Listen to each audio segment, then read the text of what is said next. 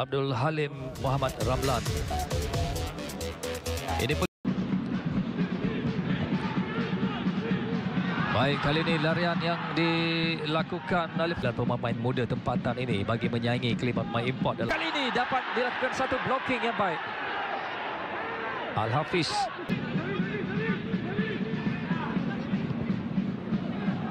Kata pengadil. Begitu juga dengan pembantu pengadil yang berada di tepi yang selagi tanpa jaringan kedua-dua pasukan uh, sudah batu dua pemain dilepasi. Bukan cut inside. Kita kali ini makanya tak sampai. Sering bertukar-tukar hantaran di tengah. Oh cantik kali ini. Peluang. David Rolly itu boleh menghasilkan gol mudah Johan Cedric François Martial.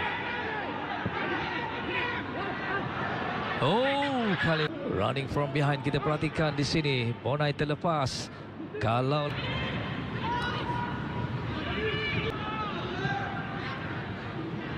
terus dapat dikeluarkan dan diselamatkan oleh David Rolly di sini. David Rolly Daliber yang mantap di tengah sebenarnya. Sambil itu Fandi Osman yang kan Penang amat dirasai di antara pemain yang disayangi oleh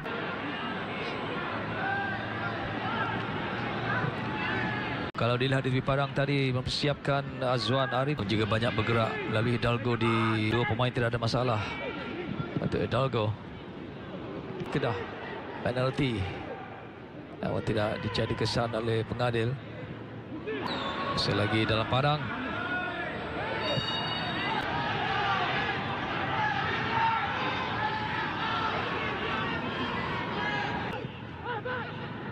dua pemain pertahanan yang cukup Kedah pula. Tak kemas Desi Masa. Finally. Ah. Yang uh, dilakukan oleh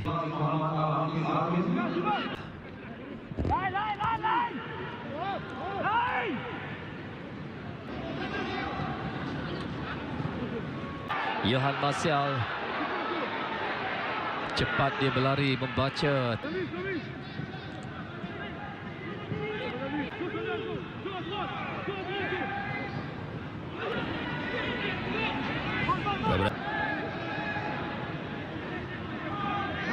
KL sedang ketinggalan pada JDT satu dalam separuh masa pertama tadi. David Rolly lakukan kesilapan. Tolakan ke depan dari Rolly. Peluang untuk melaskan rempatan tapi offside sudah. Tolakan ke depan dari Rolly. Peluang untuk melaskan rempatan tapi offside sudah. Baik sebenarnya. Space yang dibuka oleh David Rolly. Begitu macam onside kerana ketika bot pada Azmi Aris pada tadi yang melakukan pintasan sebelum bola sampai kepada Hidalgo David Rolly dihalang oleh Desi Marcel. Masih lagi Desi Marcel. David. Hidalgo dibaca hantarannya.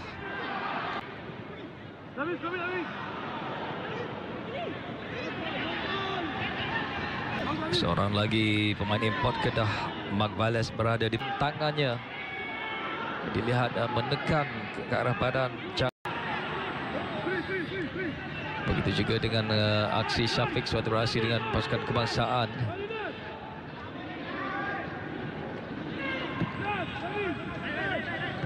Okay, ini. Terpendek dilakukan. Jadi oh akhirnya. Untuk aksi yang kami bawakan kepada anda pada malam